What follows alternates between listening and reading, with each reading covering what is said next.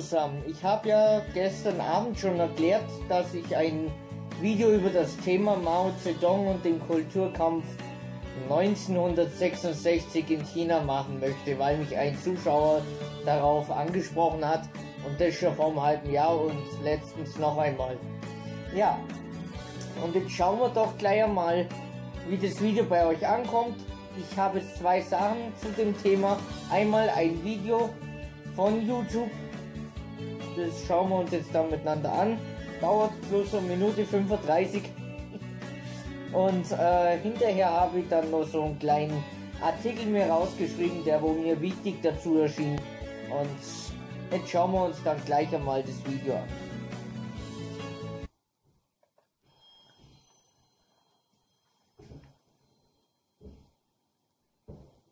Ist leider auf Englisch.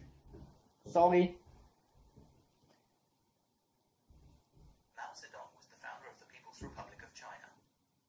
In in the Hunan province, Mao trained as a teacher and then began working in the Beijing University Library, where he started reading Marxist literature.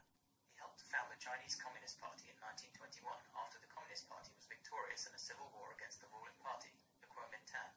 And in 1949, Mao founded the People's Republic of China. Mao's reformation of Chinese society started with the government taking state ownership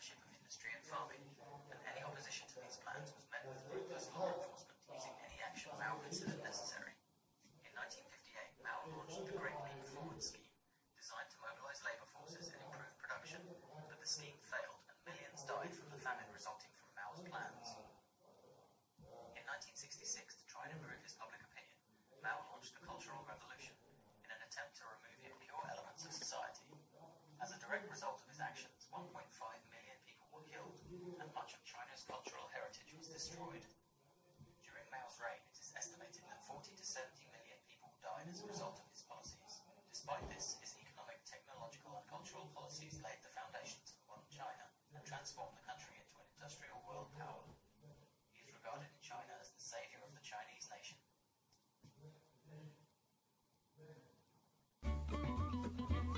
Das war jetzt das Video, wo ich gefunden habe, wo ich meine, das passt dazu. Gibt's aber leider nur in Englisch. Äh, ich habe überall rumgeschaut, ob es auch auf Deutsch gibt, aber das Video gibt's leider nur in Englisch.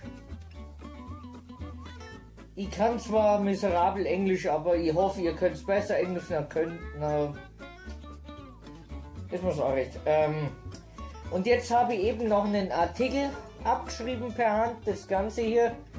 Und das lese ich jetzt mal vor und könnte ja ganz interessant sein. Ne? Also, China unter Mao Zedong 1949 bis 1966. Mao ist in die Geschichte als Begründer der chinesischen Volksrepublik eingegangen. Sorry, wegen meiner Sauklaue kann ich es ein bisschen schlecht lesen. Machen wir weiter.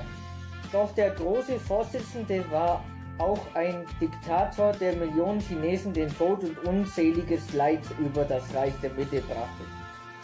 Der große Sprung nach vorne, eine unerbittliche Industrialisierungskampagne, die in der gro großen Hungersnot der Menschheit endete. Die proletarische Kulturrevolution von Mao verordnete Terror, der China ein Jahrzehnt lang ins Chaos stürzte und Millionen Chinesen zu Tätern und Opfern machte. Also wir sehen daraus, der Mao Zedong, der war eigentlich so, sowas wie der Hitler bei uns in Deutschland. Ne? Also ein ganz schlimmer Finger eigentlich. Ne? Weil Terror und so dasselbe, das war auch die Art vom Hitler. Also man kann es schon so vergleichen. Ne? Sowas sollte es auf der Welt nie mehr geben. Also so, solche Sachen soll es eigentlich auf der Welt nicht mehr geben. Aber immer wieder gibt es irgendwo. Und das ist das Traurige. Ich, ich verstehe nicht, wieso die Menschheit nicht klüger wird. Wenn es jemand versteht, dann schreibt es mir in die Kommentare. Weil ich finde, die Menschheit wird immer blöder. Immer mehr Kriege um nichts. Wieso haben wir Flüchtlinge? Weil es Kriege gibt in den Ländern. Ja? wenn die Menschheit aufhören tät mit denen Kriege, dann wird es keine Flüchtlinge geben. Da könnte jeder friedlich in seinem Land wohnen, aber so einfach, wie ich es jetzt sage, ist es leider nicht. Ja? Und darum sage ich da auch nicht mehr dazu. Das war jetzt halt meine Meinung dazu, dass ich sowas schlimm finde, dass sowas geben hat und in manche Länder anscheinend auch noch gibt, so viele mitkriegt. Ich krieg das ja so am Rand mit, ich, ich habe schon ewig nicht mehr Fernsehen geschaut, aber manches kriege ich noch mit. Ich, ich finde sowas unbegreiflich, wie man sowas machen kann.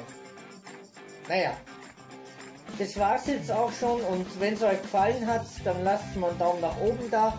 Schreibt mal eure Meinung dazu in die Kommentare und ihr könnt mich wie immer abonnieren und, und mir in Twitter und Instagram folgen. Facebook habe ich noch nicht. Das klappt noch nicht. Ansonsten wünsche ich euch einen schönen restlichen Sonntag und einen guten Start in die erste Arbeits- und Schulwoche, also für die, wo noch in Schule gehen. Ähm, also die erste Arbeits- und Schulwoche 2007. Morgen jetzt los. Habe die Ehre, wir sehen uns.